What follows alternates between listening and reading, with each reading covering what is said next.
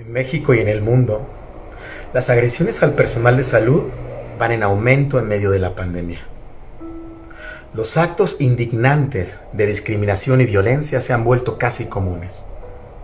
Al día de hoy, hemos sido agredidos. Hemos sido humillados. Nos han negado el acceso al transporte público. Nos han arrojado baldes de agua con cloro. Nos han ofendido en la vía pública. Después de trabajar 24 horas, todavía tengo que subir 8 pisos a casa. Porque me prohibieron el uso del elevador.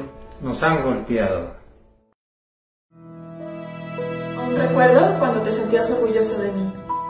Cuando llegabas enfermo y sonreías, sabiendo que haré todo lo posible para que te sientas mejor. Recuerdo cuando venías con tus hijos y platicábamos. Y no solo de tu salud. También de cómo estás. Nos hicimos amigos. Nos convertimos en familia. Recuerdo las llamadas de madrugada, los domingos y navidades. Recuerda, te sentías seguro.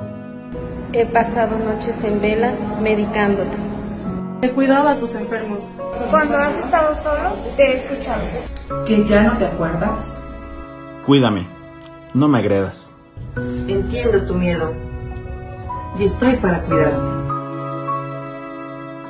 Todos podemos ser héroes. Al quedarte en casa. Al salir de tu casa con las precauciones necesarias, cuidas de tu familia. Con ellos juegas, ves películas, escuchas música, atiendes recomendaciones. Sé que todo lo que haces es para cuidar a los tuyos. Yo también quiero cuidarte. Si tú estás bien, yo estaré bien. Tu salud es lo más importante. Todos somos héroes. Cuida a los que te cuidan. Cuida a los que te cuidan. Cuida a los que te cuidan. Cuida a los que te cuidan. Cuida a los que te cuidan. Cuida a los que te cuidan. Cuida a los que te cuidan. Cuida a los que te cuidan. Cuida a los que te cuidan.